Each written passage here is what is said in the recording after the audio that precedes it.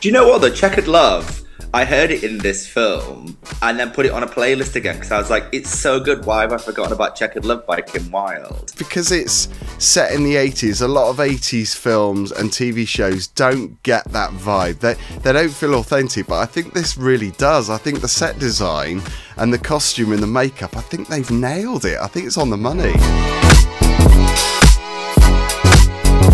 Hello, hello, welcome back. Today we're talking about The Fence, which is a film that came out, I think, a couple of years ago.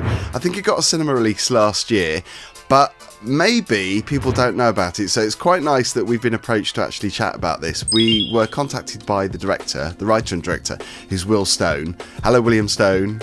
I say Will Stone. I know he calls himself Will, but obviously the professional term is William. We're professional here. We're professional here, Will William. We are Boys on Film. My name is Phil, and that is Sean. And we are kind of struggling with filter colours keep changing. It's almost like a Wizard of Oz. I think you're in the club still. You're in the, in the club. club. and that backdrop is like some kind of like one of those like Zoom artificial backdrops, and you're still in the club DJing, and you're like, oh, I'll just do a quick review. Haven't stopped. Never stopped partying. Anyway, how are you? How was your birthday? You went to My Athens. birthday was great. Um, the years just fly by. I, I, was joking about the 40s just being this decade where you blink and you're like, oh, the 40s are really odd. Like, it was great. And I was in Athens, and as uh, Phil and I were talking before we came on, it seemed like everybody and their uncle were in Athens at the same time. So I think it's really popping at the moment, and it's great. And peace out to the Athens children because it's a real party scene. I loved it. I feel like I've missed out. I think I'm the only person that wasn't there. You were the only person not in Athens because you were in the club. anyway, we are talking about The Fence, which is written and directed by Will Stone and based on an award winning short, which did really well. I think it got over four and a half million views online. Um, I'm so curious to see it. I'm really curious. Now that I've seen this film, obviously, um, it'd be nice to go back and see where where it originated. But it's a British comedy drama set on a council estate in Bristol in the 80s, and we love an 80s movie.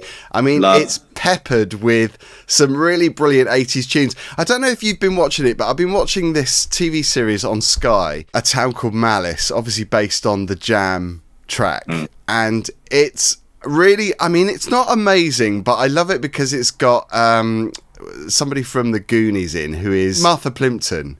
She stars oh, yeah as the mother, and it's a crime thriller, which is um, basically about a family of petty thieves from Bermondsey, and obviously I live in Bermondsey, so it it it was quite interesting for for a lot of reasons. But they have these tracks from the 80s in there and they're almost kind of strategically placed i don't know have you been watching any of it i haven't but i think i know where you're going to go with this because um, that was one of the highlights well the fence actually i thought was great to come out and say it. i think it's great yeah yeah um, and um, it was yeah. There's this really well placed '80s tunes in there. A little bit of Kajagoogoo, a little bit of whatever. It was just really lovely placed, and you know, my husband always like he's always saying to me, "God, you're a bit like Shazam," because I'm like, "Oh, this is this," um, and it was it was great. So I thought the soundtrack absolutely beautifully anchored it in um, in the '80s without feeling like a pastiche Absolutely. Sometimes these 80s films can feel a bit kind of a bit saccharine. Yeah, I was just going to say that, and that's why I, I, I, made that reference to A Town Called Malice, because A Town Called Malice, it's all the tracks that you're familiar with, it's all the big hits.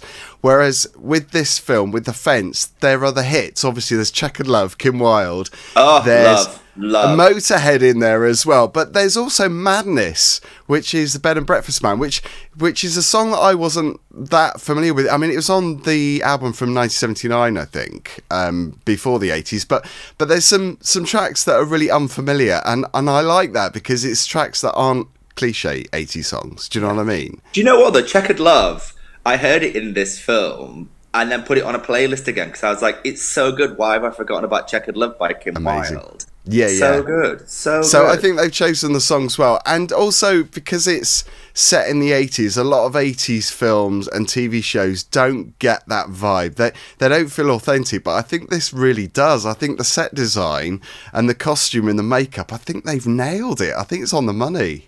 Yeah, I agree. I agree. It reminded me of it's a very loose reference, but he reminded me a little bit of the tone of the Full Monty, which is obviously from Sheffield, where I'm from, where it had some grittiness and it had some realism to it. You know, and I, having grown up in Sheffield, I was like, yeah, I can relate to this. Okay, so it's a blockbuster movie, but I can relate to it. It's not like some over varnished, over polished pastiche of a northern town. It was actually quite honest. And so I got some elements of that as well. And a little bit, again, loose of This Is England. I like, was going to say that too. And a little bit of Shaun of the Dead. Not too little, much. But, but I tell you why I think Shaun of the Dead, and I think it's a good reference, is I think this is one of those films that could bubble under and come up because a lot of those films, uh, like Shaun of the Dead and whatnot, kind of landed and then became cult classics over a period of time. And I get a vibe with this film, which is similar because it is so enjoyable. I think there'll be a word of mouth cascade around around this movie, and more and more people watch it. And I think we'll really, really love it. Do you know what? I think you're absolutely right. But tell us about the story, Sean. It's set in Bristol, as you said. Um, it follows the story of Steve and Andrew, but mainly Steve, who are two lads uh, who grew up on a council estate. Their mum is played by the amazing Sally Phillips. Steve works in a butcher's in the day and catches fish uh, illegally, which he sells which he sells to save money, and he's saving up for a new motorbike, like a like a trail bike, uh, a Honda uh, one two five. And eventually, he gets the money from doing these these jobs that he does to buy it, and within ten microseconds, the bike gets stolen. The story follows Steve and his brother Andrew, who's out on probation, so he's trying to be good, how they try and basically unpick and find out who's still on their bike. And it goes into the misty, dark underworlds of the fences. Now, a fence is someone that buys and sells knockoff gear.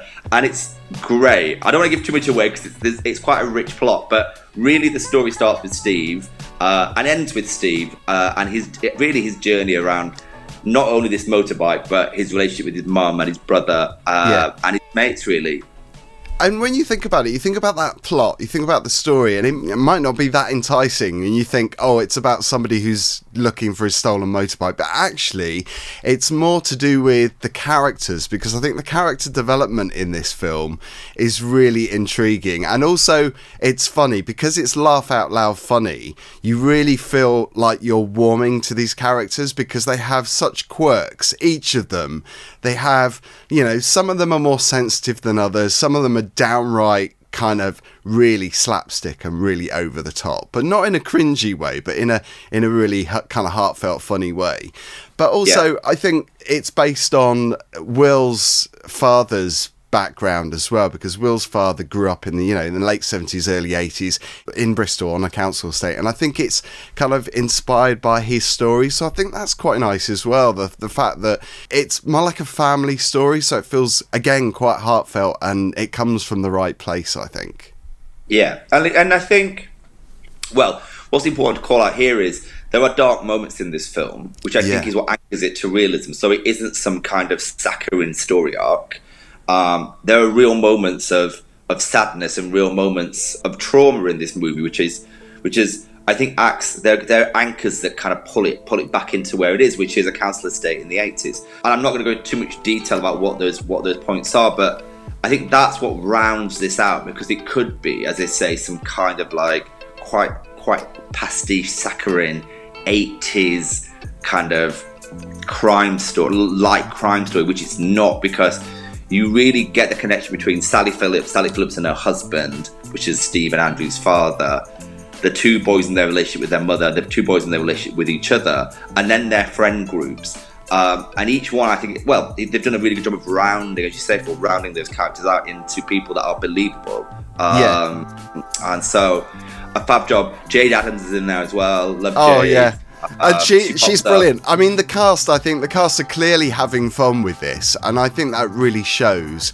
And I think it's a great cast too. I mean, you've got David Perkins, Eugene Simon, Desha Gale. Um, they're all excellent. Sally Phillips is excellent. Although her role is quite small, there's a really good scene where because she's Stephen and Andrew's mum, she walks in, she comes home and she walks into the living room. She's unaware that there are some guests there, shall we say. um, and these two thugs who are sat there, one of them is, is Paul Cooper, who was in the country with Daisy May Cooper. So I think, you know, the cast itself, that they're from a comedy background that interlinks. I think it's a comedy background that they all get, and they've all been part of that background, I think, in some way. It's that kind of comedy. I think it's that kind of alternative comedy that has re- been really successful. So I think I think you know, big tick for the cast. I think that I think the cast is terrific, really good. Yeah, yeah, yeah. Jay, Jay plays a quite a fun character. A feisty mother in curlers.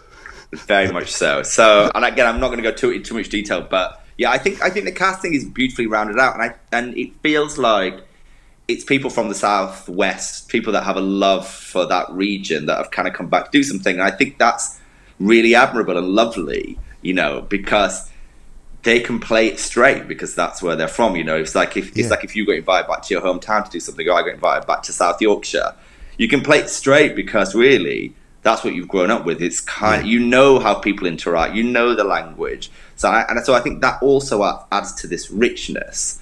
You've not got people kind of, you know, mimicking a Bristolian accent. They are from that region. So, really, really great. And, and as I say at the, at the top of the house, really enjoyed it. It was a film that I went into not knowing a great deal about, and so was had my film head on but very quickly kind of fell in love with it and really enjoyed it, as did my husband.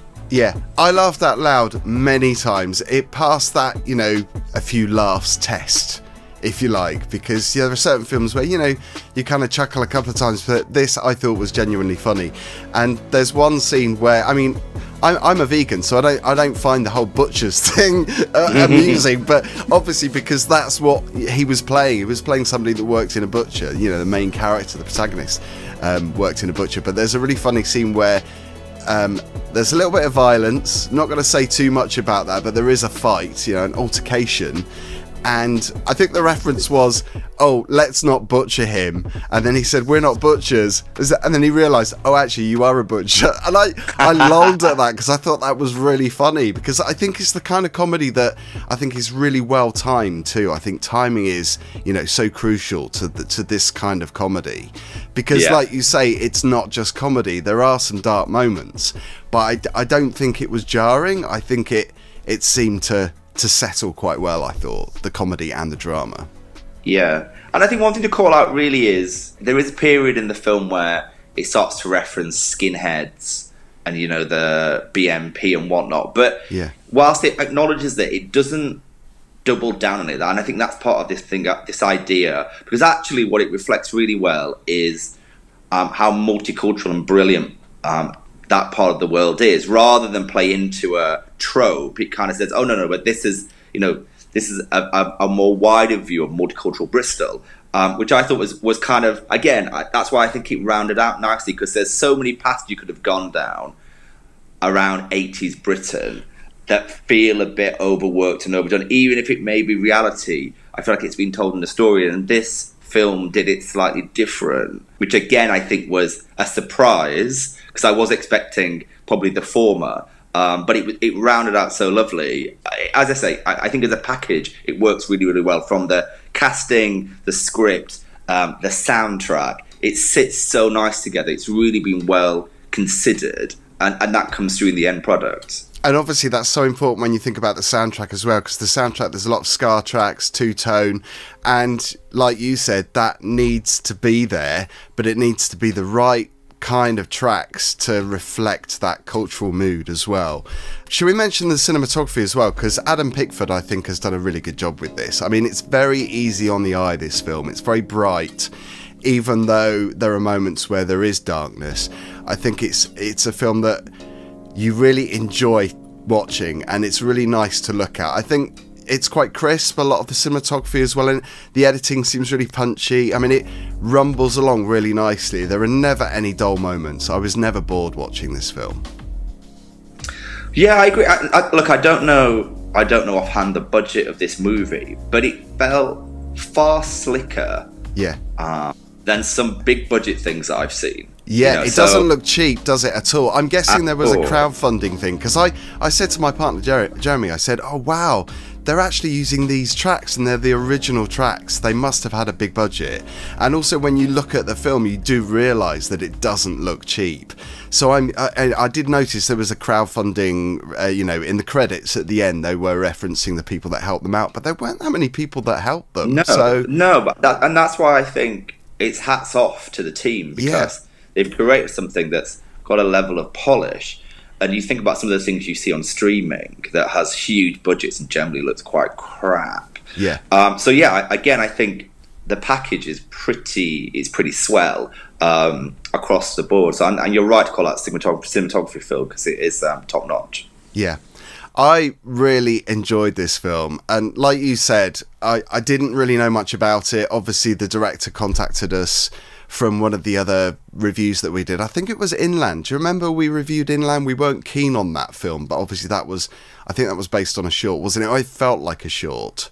Um, but I think that was the London Film Festival last year. But I'm really glad that Will got in touch with us because this is a really nice discovery. And yeah, I'm going to give it four stars because I thought it was it was really enjoyable. And I am giving it four stars. So well done, Will William. Yeah, Great job. exactly. and I'd really love more people to see this. So I hope that people watching will discover it. You know, I, I'm sure it's available on digital still. Um, but like I say, it had a, it had a short cinema run. But hopefully, and you mentioned this earlier, that people will pick up on it and it will be a word of mouth thing, and people will maybe campaign to get it, you know, out for a cinema release again because it would be great to see it on the big screen. Well, I'm definitely going to be talking about it, and I'm thinking about all my pals from the southwest who I'm going to say get your hands on a copy of this or get or you know try and watch it because I think they'll absolutely love it. Yeah. So it's called The Fence. Check it out. All the details down below. Thank you for watching. Thank you, Will, for getting in touch with us. And Thanks, yeah, Will. We wish you all the best with the movie. Hopefully, it will start to rumble away again and um, more people will discover it. But yeah, we, we thought it was fantastic. So four stars from us at Boys on Film.